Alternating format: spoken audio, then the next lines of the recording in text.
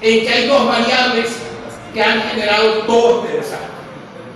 Y yo quiero decirle aquí al presidente, que está aquí, que el plan país tiene la solución para esto.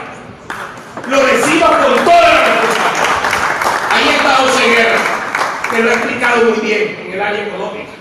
Ángel Alvarado, creo que lo vi por allí también. Aquí está. Ellos han explicado muy bien lo que hay que hacer. Pero fíjense ustedes, yo les voy a dar esta cifra para que se la lleven en la memoria. Es difícil a veces hasta decir. Inflación acumulada durante el periodo del señor que hoy usurpa el poder. Marzo del 2013 a abril del 2019. Inflación acumulada. Oigan esta locura. 14.171 millones 862 mil 136%. Eso es algo que uno no, uno no lo puede ni entender. Por eso el salario no vale nada. Nada. Si lo que te ganes no vale nada, desde un gerente en cualquier empresa que esté hasta un trabajador eh, de, de, los más, de los, de, los, de los empleos más básicos que existen en la economía. No sirve el salario, porque frente a esta inflación acumulada no hay nada que hacer.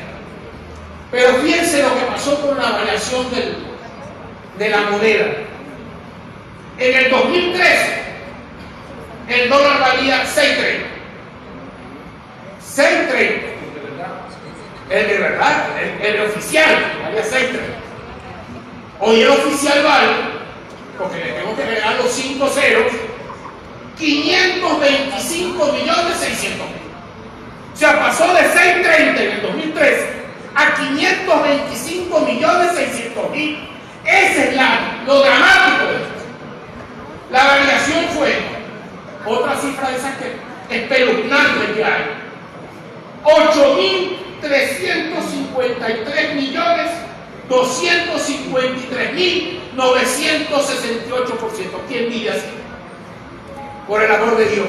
Con esas dos cifras, basta para decir que este es un sistema que no sirve para nada. Y por eso lo vamos a